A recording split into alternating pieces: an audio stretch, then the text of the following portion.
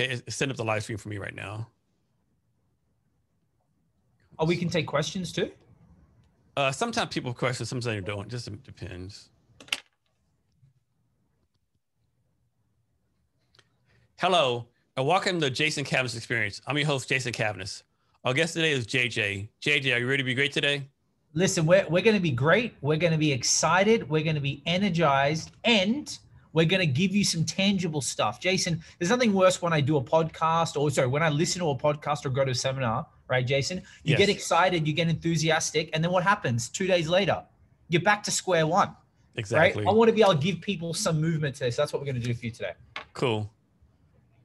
JJ started his career as a magician, where he grew the number one magic YouTube channel in the world with over 50 million views, with over 500 views seen in over 550 countries. Realizing the art of deception wasn't his true calling, he left his bag, bag of tricks to host TV shows in Asia, run nightclubs, and then he transitioned to the States where he engages, inspires corporations and personal brands about getting their career to the next level. In 2020, after the world was put on hold, he started his own Instagram growth agency where he helps personal brands use the power of Instagram to get influence and the attention they need to get people to like them faster, trust them faster, and buy from them faster ladies and gentlemen, Mr. Worldwide and the man with a lot of energy, JJ. What's up? That's right. We're keeping it. We keeping it worldwide here with this Australian accent. I'm in LA. Everyone's listening globally, right? But all that matters is, hey, we're here together, and we're here to help everybody get to the next level, Jason. So, JJ, why LA? Of all the cities you could move in, why LA? You know, that's that great question. So, you know, 16 years ago, man, all I wanted to do was tell the world who I am, what I do, and how I can help people. And I was playing in the entertainment field. So, you know, 16 years later, I thought, you know, well, I came here in 2017. Why wouldn't I come to the number one capital city of the world of entertainment, Los Angeles? So, you know, came here to to to move and groove with the with the people that I admire the most. JJ, so this is 2021, and from my point of view, there's still entrepreneurs out there who don't get the importance of social media. Like, you have to be on social media, I think. Why do so many entrepreneurs still not get this? Because a lot of entrepreneurs, the reason why they just don't understand it, and that's totally fine. But I'm going to share with everybody right now you know, you want to be able to use social media to leverage who you are and what you do and how you can help people. You know, gone are the days where you'd put a post up and you would just be between your family members. Now it's a business. Now, like people use it. I know people in town here in LA, people make a million dollars a month just on Instagram. Like that's it. So like you should be able to take 10 a 10% of that pie, even just for yourself. So a lot of people they just don't know how to use it effectively. So JJ, you always hear about, you know, you need to be engaged on social media, you need engagement. What is engagement? What does that even mean? Well, you know, the thing with insta the thing with social media is like you don't want to have it's like this right? Let's say when i used to i used to run a nightclub. Let's say a hundred no let's say a thousand people coming inside the nightclub but no one was doing anything right? They were just standing there. They weren't even drinking they weren't partying they weren't dancing they weren't doing anything. And that's what a lot of people have these accounts or they have a lot of people on their email list or they have a lot of people on their on their instagram or social media but having a lot of followers means nothing. You want people engaging with you. You want people interacting with you. You want people actually giving you the Jason experience, right? With you. You want people doing something. So that engagement, right? Of, of what people do on your social is as important as just having the numbers or just having great content. JJ, is there a certain rule out there that says you're supposed to have like a certain percentage of engagement? Like, if you have a thousand followers, that 10% of those should be engaged?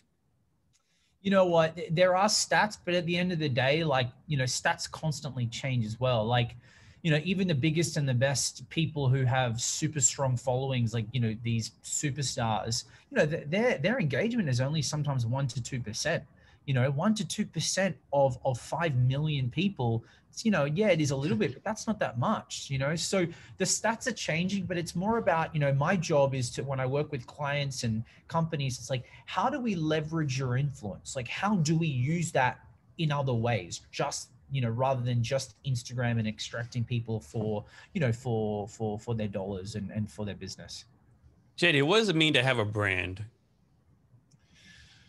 it means everything that is who you are. That is that is what you're about. That is what you believe you know? And and it's all about people want to get to know you now jason you know? I remember that remember now people like everyone knows who the owner of amazon is right? Why do we know that? Why do we care? Because we want to get to know the people behind the brand. We want to know what he eats. We want to know what he does for fun. People want to get to know because people are buying people yes, I'll go on Amazon to buy a can of energy drinks, right? And I'll buy that. Yeah, I don't need to discuss that with Jeff, but I want to know, you know, what does the richest man in the world, or one of the richest men in the world, do? Like, what's his gig about? You know, and, and that's important for us. That's why a brand is important. You know, it tells people who you are, what you do, and, and how you can help them. So, JJ, that's a good point. Like, back, way back the day, like no one knew who the CEO of Ford Motor Company was or IBM. We know that now. When did this change? That's a great question. I don't know when it changed. I don't know when that shifted, but I do know that when whenever the shift was, people were allowed to actually express. They didn't have to put a a a certain. They didn't have to be a certain way to match a certain type. Now it's all about culture. Now it's about character. Now it's about hey, well, you know what? I have the choice of six different businesses here.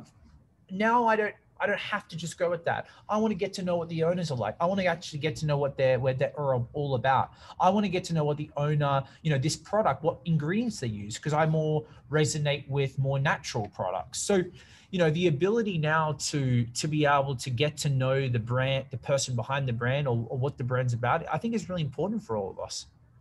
JJ, so let's suppose there's a CEO out there, and somehow they like ruin their brand, right? Do something bad, you know, get, get bad press how do they overcome this? How do they go from having a bad brand to a good brand, or is it like is that, that a lost cause? Yeah, so this happened to me recently where I work with the CEO of a company, and he was put in put in a bad place where the company did something where he got into a place where he had to take the hit, right? And obviously that was more leveraged on him than actually the company. So what we did is first thing you want to do is you don't want to jump straight into the emotion right? And try to fix everything in one hit. Let it be for a second. Nothing's going to change in the next day, right? After the, the the I call it the tsunami has happened, then you can go in and start to build slowly. And the first thing you want to do, right, is if you can come from an authentic place and say, listen, I made a mistake, or I shouldn't have said this, or this is what I'm going to do to fix what has happened. And people can really resonate and relate to that because even if it's a big boo boo, as they say, if you can come from a place of, I actually am sorry, or I should have done this differently, people will feel that and, and they will be more likely to, to, uh, go on the journey with you rather than you just try and pretend it didn't happen or just block it away. JJ, you, you hear some people say that, you know, like you have someone to make a comment or LinkedIn post or YouTube post or what it case be that you should respond to everyone. But is that really realistic? Like, suppose you're, you're someone like, like lots of followers. Do you really have time to respond to every single person? Is that really good advice? Or what do you think about that? Uh, no, I don't. I don't think you need to. You know, that's we'll sort of go back to the point of you know social media as well. I think one of the reasons why Jason and everyone's listening, why people get overwhelmed with social media, is because they get told things like you got to respond to everybody, you got to post 16 times a day, you've got to do this, this, and this, otherwise you won't make it. So to your question, no, you don't have to respond to everybody, but people who respond to you, if you can manage that, right? Try to because they are humans. They are real people. So either there's two strategies here. One you respond to every respond to a bunch of people right? Or two hire someone else to do that. Like my team does everyone that comments on my post now eventually when it gets too crazy maybe i won't do it as much but i think it is important enough. Just like if you had a, a restaurant and you had 500 people coming into your restaurant every night for dinner, you're not going to go up and say hi to every single person, but you will probably go up to come people and say hi, welcome, thanks for coming. So it's it's one of those things. You don't have to do it for everybody, but you should still do it for some people. JJ, what's your take on uh, social media platform scheduling tools like uh, SmarterQueue, Buffer, Hootsuite? Do you think those work, or you should actually like do them like um, by yourself? You know at the beginning i recommend like definitely get involved with the social and understand how to work and understand the best way that works for you. Then when you understand it a little bit then you're allowed to automate. Then you're allowed to leverage. But i think i feel like a lot of people that before they end up working with me they've tried to leverage everything. Well i'm going to automate 50 posts a month doing that. I'm going to do linkedin. I'm going to do this and then and then what happens? It's just all over the place and nothing actually is working. It's like well hang on a second. Let's figure out this slowly. Let's see what you can actually manage right? Let's get up with a better plan so you don't have to feel like overwhelmed and you have to schedule everything in. So like yes i think it is important but at the beginning at least know what you're doing first because you may not need to schedule everything in. Maybe it can just be something that you could do three times a week and it's more consciously what am i going to feel today or what do i want to post today so JJ, you change the subject. You've yeah. done a lot of traveling. What's been your favorite place so far? Tokyo, Japan. Uh, yeah, that's a nice place to visit. Yeah, Tokyo. I lived there. It was just magical to me. I, I was I was in Australia at the time, and I was working as a magician. That's right, a magician. A buddy of mine was over there, and he said, "Hey, listen, Jay, if you ever want to get to Tokyo, you know, you can make some really good tips, right?" And I said, "You know what? Why not?" So I went over there and did some magic to some rest people at restaurants and you know made a little bit of money but it was more about the experience but seeing that whole culture. Like tokyo is a place that no one ever you can't relate it to anywhere. It's different than korea different than singapore hong kong thailand. It's just a magical magical place. Yeah they definitely have their own unique culture. Right. So next question what's a place you've been to that was a lot of fun but most people like you went where like it's kind of off the wall but you had a great time there that most people not like probably wouldn't travel there. Yeah ho chi minh city Vietnam. Okay. Yeah. Yeah. Vietnam was like people like Vietnam, like they think it's like some kind of city with, you know, like not even a third world country, a fourth world country. Like, like, do they even have electricity? You know, some people like that, they, they've just, it's like this island. Yeah. Ho Chi Minh was an amazing, amazing city. Amazing. Just food, culture, people, energy you know everything was really was super cheap you know it was just a great vibe and i was there 2015 when it was just starting to ramp up the tourist culture so i was there just at the edge of it so i really got to experience it at at the perfect time yeah, when I was in the army, uh, we were me and my family were South Korea for three years, and people were like, "You take your family to Korea? Like, what type of person are you? Right? You don't can't take that. Like, like South Korea, like more advanced the states was. They had like big right, screen right. TVs, types of buildings, like like key key codes to get in the doors and stuff. And they didn't even realize how advanced it was, right? Right, right. So right now, what social media platform excites you the most? You know, Instagram is exciting. Instagram, but there's this new one called Clubhouse. You know what I mean? It's actually brand new. I don't know if you heard about Clubhouse. So anyone listening right now, Clubhouse is an app where basically you go and hang out with other people and just basically either interact with them or listen in on their conversations. You have different rooms, and it could be entrepreneurship, finance, leadership, love. You could start your own room, but basically gives you the chance to be the interactive fly on the wall to other people's conversations, and they can bring you up as a speaker. But the way I sort of understand it now, it's like having your own. It's like going into a conference with multiple stages and you walk in and listen in or sometimes they invite you to the stage. So clubhouse is very exciting but then you know instagram is my is my baby. You know it's it's where i come alive it's where i understand and i i've really understood how to leverage an entrepreneur or a company's brand and message so they can literally extract either you know new people new money new opportunities from it. Yeah actually i've been on clubhouse for about a month and i actually hosted my first room the other day on um the challenges of non-tech founders building with tech companies, right? Nice. And, and anyone pop up, if it's SRC, this this one guy popped up. I don't know who he was afterwards. He's like this billion billionaire VC out of the Bay Area, right? He popped on there like and, t- and talked to us, right? And stuff like that happens all the time. You never know who's going to pop up, what connection you're going to make. Yeah, it's it's amazing, man. Yeah, it's it's like it's like it's like they've it's like LinkedIn was like the the the nightclub of everybody and then clubhouse like the vip like it you know it's only really good quality people at the moment because it's invite only. So yes. i don't know why at the moment it's really good. Let's see what happens in two months. When they open the floodgates yeah. Yeah, yeah when everyone gets in yeah. And it becomes you know twitter 2.0 right? Everyone hopefully hopefully, hopefully that doesn't happen. Yeah yeah yeah. Jj talk the points about whether you're an entrepreneur uh, you know starting your own company you know college student whatever you're doing looking for a job the importance of putting yourself out there? Listen, I, you know, I, I, I can't. One of my like core things about me is like you should be telling everybody who you are, what you do, and how you can help them. And the thing is, Jason, everybody listening, I'm not expecting you to be me. I know I'm loud. I know I've got an accent. I know I'm in your face. I know I'm full of energy and life, but that doesn't mean you can't be at least knocking on people's door too right? And the best way to do that is by using the power of social media. It's free. It literally gives you a press of a button to tell everybody what you do. And you should be proud about doing that, right? And the thing is, why wouldn't you? Because you've got something to give, right? And the best way to do that is by putting stuff out every single day. If you're just consistent for 90 days and you're putting something out about your message, I promise you, you'll get some interest. Even if it's within your close circle of friends, the amount of people, the amount of clients that I tell them to do it in 30 days, and after the third or fourth day, someone will message them, Jason, and go, "Oh my gosh, you! Sh- I wish you I knew this uh, two weeks ago." Like realtors are the best thing right? I miss, I wish I knew that you sold houses. I just saw we just went with some other dude and he sold the house. That could have been a 30 grand com for you. But because that's because you decided not to tell everybody. So I'm giving people the permission today to go, listen, for someone that teaches people, coaches people, uses tips and tools and strategies to help people get their message out, you're allowed to do it yourself. To listeners, I highly recommend you check out JJ's YouTube channel. JJ is a very exciting, engaging speaker, right? I mean, really good. So JJ, question for you. You know, a lot of people fear of public speaking. It's like, you know, a lot of people rather like jump off a cliff than publicly speak, you know. Of course, some people do because they have to do it, but they don't, you know, they're not, you can tell they're not, they're doing it right.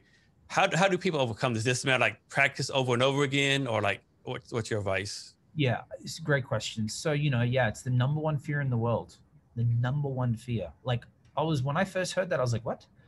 People would rather jump with the sharks than stand in front of a crowd. I could literally have one microphone and a pool of sharks and pick, that that is amazing to me. But to give people some some tangible stuff here, guys, you have to understand this. You shouldn't be waiting to the final 400 person crowd or 40 person Zoom session to pro- promote or, or, or uh, show off your new brochure or company as the final straw to get out and do your things. You should be practicing every day. Like you should be. Jason, how do you become a great podcaster? You don't just get up and wait for the perfect interview. You should be talking. How do you become a great speaker? I'm speaking every day. How do you be a great salesman? Well, you're practicing how to sell. So I feel like so many people wait, Jason, until like, okay, now I have to do it. Then they get nervous the night before and they, and they freeze. It's just classic 101. Put the time into practicing public speaking. The way to do that is you can actually stand up and and have some cue cards in front of you or actually stand up like you would be doing a presentation and actually start speaking you know? But people just are waiting for the one time to do it and then they really realize why they're nervous because they haven't done it that much. So classic 101 be practicing every day at it and then in a month or three months guess who's going to improve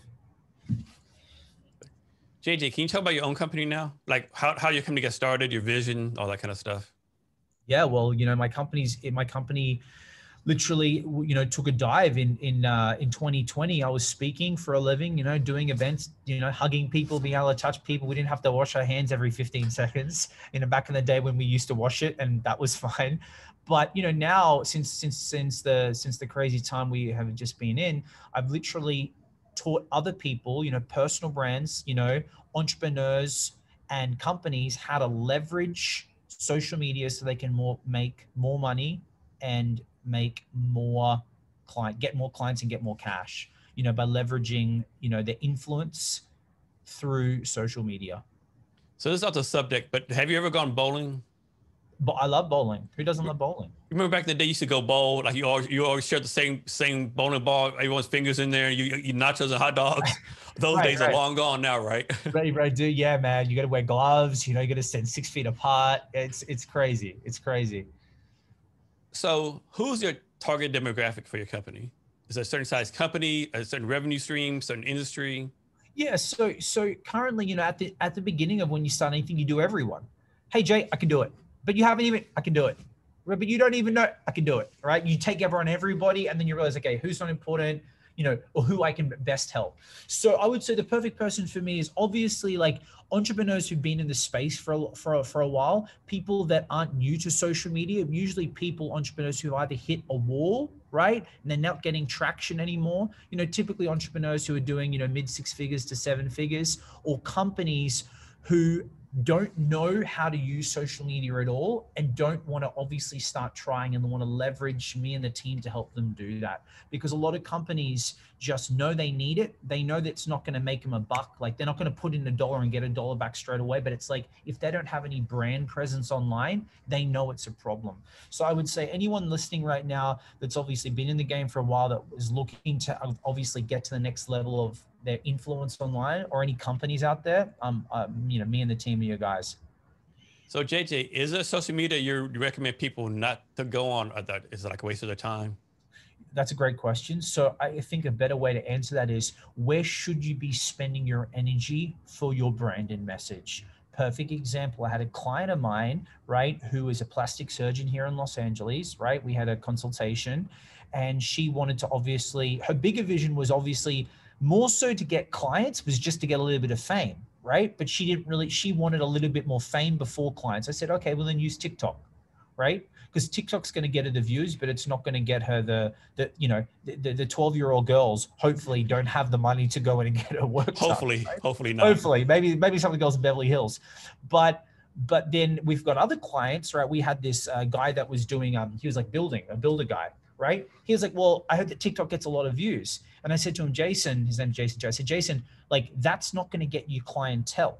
Like that's going to be cool. You're the good looking builder guy, but they're not like the, the, the young people are not going to be telling their parents you should use this guy to build your house. So what we did is we took that same energy and same message, put it on Instagram and made him to be like now the guy that people he gives tips every day. Oh, sorry, he gives tips three days a week. He's now getting booked or getting hired, right?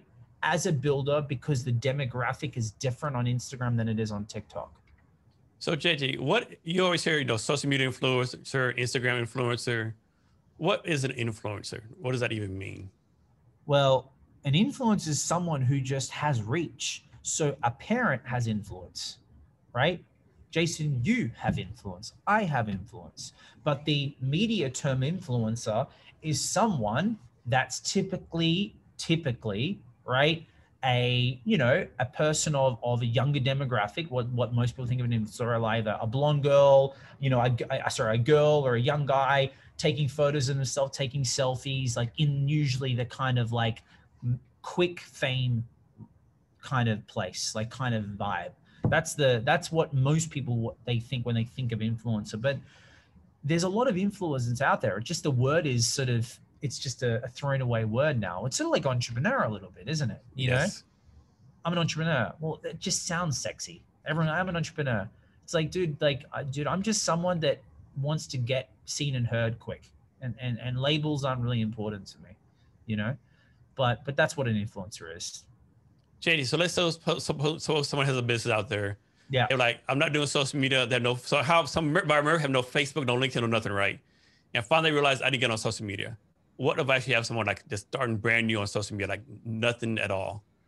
Great, yeah, great question. So what I would do, and, and anyone listening right now, like I'm more than happy to give you guys a, a free strategy session as well. If you guys send me a message and say you saw me on Jason, I'll give you a free strategy session to, to help you go through this. But to give a uh, to give a broad piece of uh, my opinion, I would first go, okay, what is our, what are we trying to achieve? Right. And there's usually two answers. One, it's either to get my product or, or message to make more money or to build my brand influence. Right. Now you can do both. But if your first target is like, I want to sell this or I want to be get booked as this, there is a bit of a different strategy then rather what I would say is use social media to grow your influence because the more influence you have, the more opportunities you can go in. For example, by building your influence, you'll get more people to know you, right? Which means more trust, more likability, more sales. But then you can also leverage into meet further people, networking, right? When you have bigger influence, you're seen as the expert in your space. When you're seen as the expert in your space, more people choose you over everybody else right? And then bigger influence as well, you will just get opportunities when people see, wow, this guy is really, really big. Maybe he could be great for this, or maybe I should go to him for this for advice or an opportunity or bring him into my business. So it's two questions. One, what is your goal? And two, right, you know, how do we want to get there? JJ, is this such thing as being on social media too much? Yes. 100%. Yeah. Just like it's sort of like, you know, Jason, take it away from social media. It's like activity, right? And I say this to my team all the time. Hey, where are we best spent? What are we doing every day? Right? Income producing activities. The cash is what's going to run the business. So for us, yes, content equals conversations, which equals cash, as I say. But even for someone like me, Jason, who plays on it, I'm very careful of where is that time being spent? Because this machine in front of us is very powerful, but it also can control us if we're not careful.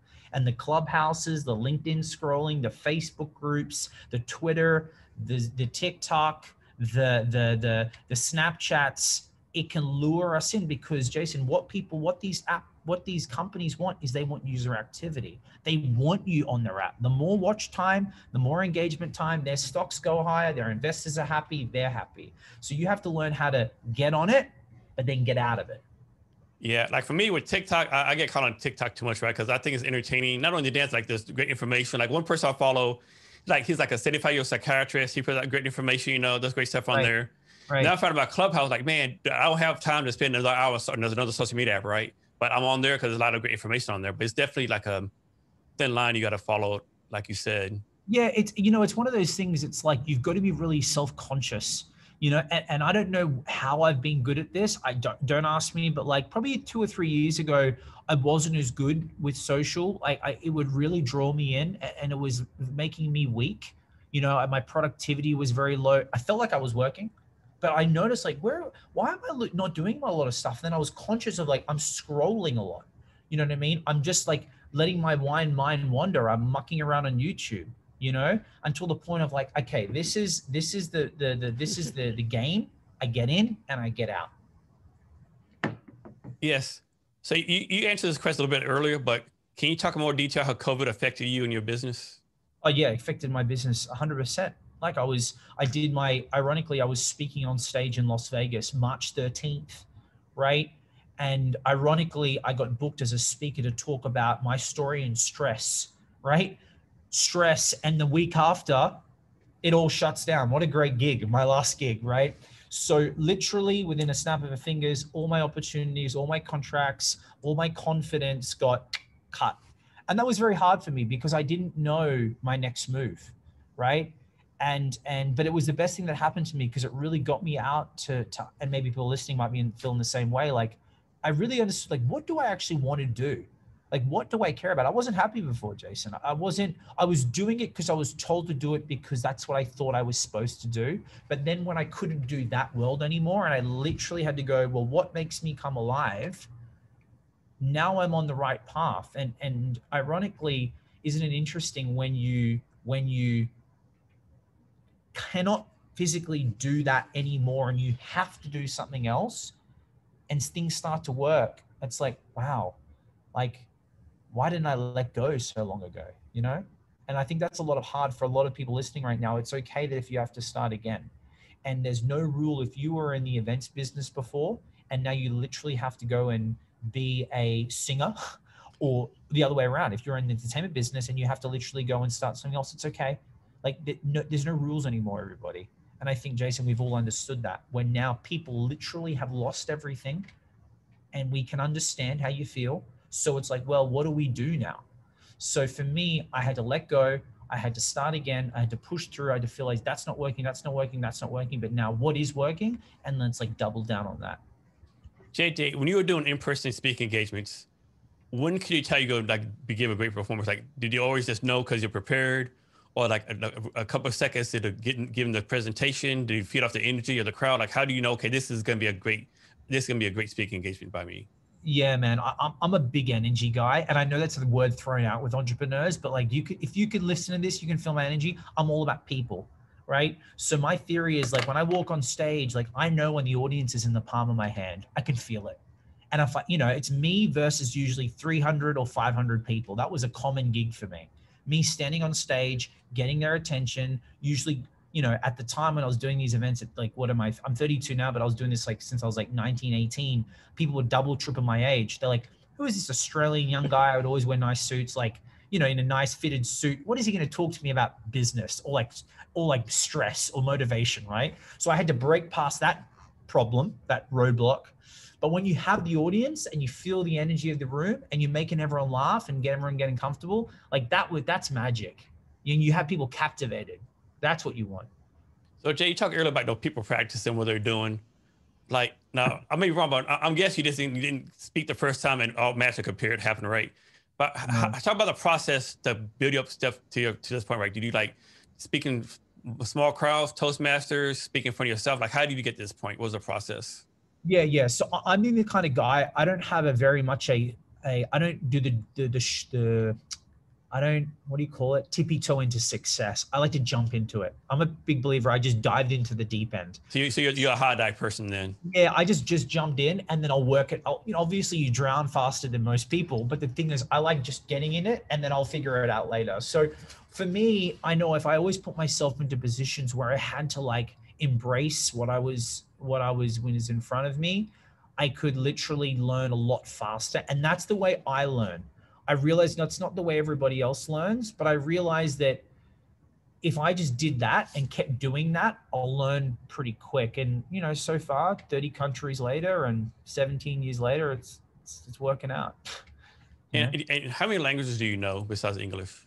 No, just actually just one. Just one. Okay. Yeah, like I know a few. Uh, like Japanese and Vietnamese, and you know I'm Sri Lankan. I know how to like speak it a little bit, but you know I've realized that's you know funny you bring that up because I realize that you know they say night what is it 85% of, of, of communication is just body language anyway right so that means 25% is language everything else is like smiles and and gestures and energy and and and, and feeling so the ability for me to go around the world and connect with all these people i had to learn because i couldn't speak their native tongue. I was like well how do i how do i get something from this person? How did how do i get them to understand me? Well obviously it can't be through through through words. It has to be through other ways. So i've learned how to connect with people without you know only learning english you know? JJ do you have clients all over the world or just in the united states? Yeah I'm, I'm really fortunate globally. You know because of my travels. So when i wanted to start my agency i was like well who do i know you know firstly like who's got my money right that grant cardone says who's got my money and and who can I go speak to? So yeah, we're we're we've been in over 12 countries. I think I'm I'm in like active clients about four right now. So so who who do you follow on social media? Like who who's the people that you follow that you know you, you maybe not your mentors, but you, you make sure you follow what they're doing. Yeah, you know, I, I really do like, you know, a lot of people probably know obviously Grant Cardone. Like I went to his 10X event and he's definitely got his interesting ways, but I like where his heart's at. I like where his his ability to go, you know, the speed, the whole 10x concept for me is is very exciting for me because it is like if you 10x your goals, 10x your visions, think big, you know. So I do like where his head's at and what he does. But then there's a lot of people as well. Like, you know, I like I get inspired by people like Alan Watts, for example. You know, he's a philosopher. And then I get inspired by people like Jordan Peterson. He's like a clinical psychologist. It's just like the way these people think so the way they process information, the way how they sort of explain things to me, which I embrace with. So it's just a vast group of people, man. So JJ, can you give us your social media for yourself, your company, so people can reach out to you? Yeah, guys. So look, you know, if you're listening right now and and you guys really would love, as I said, a free free strategy session where we could literally look at your brand, look at you, look at your messaging, see where you want to go, and see if there's a good fit check me out at JJ Live at J A Y J A Y L I V E. And that's it. Instagram, just check that out. I've got a website as well, Ace of Spades Agency. That's my company. So AOS Agency or Ace of Spades Agency.co.co. But Instagram is you'll be able to see all the great information and see what I do and, and see what I who I work with. And to our listener, we'll have the link to your social media on, on the show notes. You can find the show notes at www www.kevinstatesallblog.com. Be sure to share this episode with your friends and across social media. So, JJ, we're coming to the end of our talk. Can you give us advice or wisdom on anything you want to talk about? Yeah, I want to leave everybody with this. Hey, listen, guys, it doesn't matter who you are, it doesn't matter where you're from, it doesn't matter what you've done in the past, right? Hey, today's your day, today's a new start. Let's do something. You know what I mean? And if you don't know, go ask, right? There are people like Jason, there are people like me, there are people like you know, people who are willing to help you. But all those excuses and all those things you tell yourself is the only person blocking you is you. So it's like, listen, you can do whatever you want now. Go out, take some action, and see what you can do. JJ, you bring up, you bring up a great point. Like some people, many people are scared asking, right? For me personally, I'll make this number up a little bit, but since I've become an entrepreneur, 90% of people ask for help have helped me. Only 10% have either ignored me or said no, right? Or said, you know, maybe a letter, right? At least 90% has replied in some kind of way, right? So that's a great point. You have to ask for help, but people do want to help you. Yeah, we, and we block, but we, you know, Jason, we talk ourselves out of it, me included. Why would they help me? I'm no one. I don't have any money for them. You know who's telling us those? That's us. Who said they asked for money? Who said they wouldn't help you? Who said we aren't good enough? We are, we are telling ourselves that. So that's just like a muscle that you've got to keep going. Hang on a second. Maybe there's a way that I can ask them, you know, and that's what's great what you're doing, Jason. And we have these conversations so people can listen in and go, you know what? I like that, what that guy said. I didn't like 90% of it, but I took one thing away. and that's all that matters for me, you know? Yes. JJ, thanks for your time today. Really appreciate it. Thanks, man. And to our listeners, thank you for your time as well. Remember to be great every day. That's it.